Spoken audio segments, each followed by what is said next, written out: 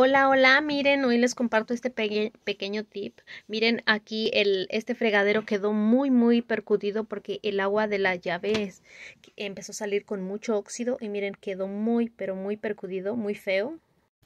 Y le puse eh, Barkeeper's Friend en polvo y con una esponja mágica le empecé a tallar y miren cómo empezó a salir todo lo percudido que tenía eh, el fregadero. Vean.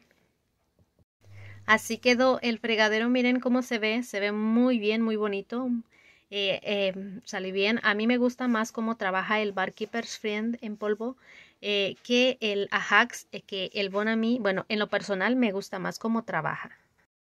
Este es el Barkeeper's Friend que usé, como les dije, me gusta más porque siento que trabaja más efectivo que los otros polvos.